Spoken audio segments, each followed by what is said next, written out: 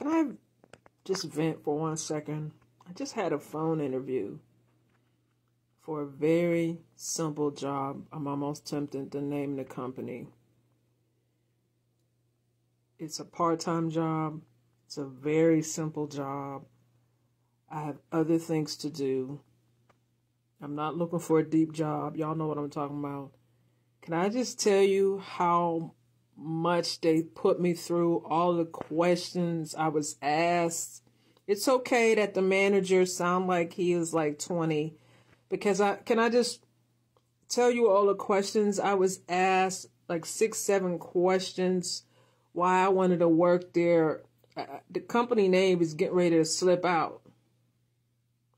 Let me just say this is a company like Amazon, but it's smaller and they do deliveries late at night.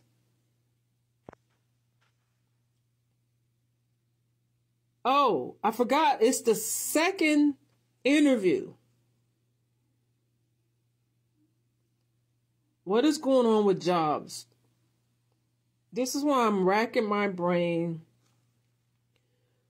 trying to put a business together because where it's going as far as trying to apply for jobs is just getting way out of hand.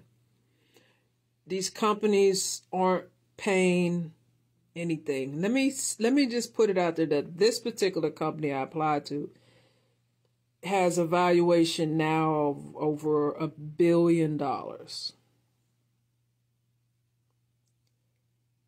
The job pays $16 an hour.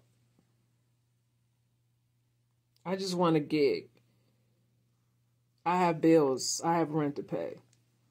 Thankfully, my landlord is being very, very gracious.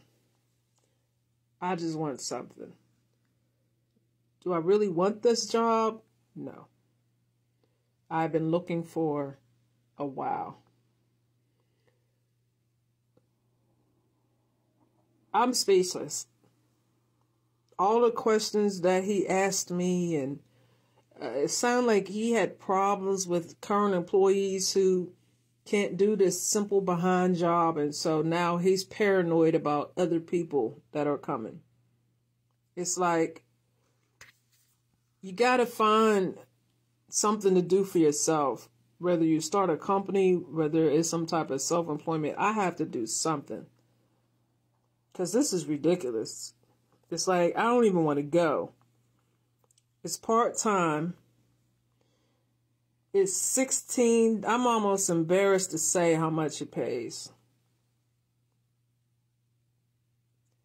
I, I, I got off the phone flabbergasted that it was the second interview and all the questions that I'm being asked.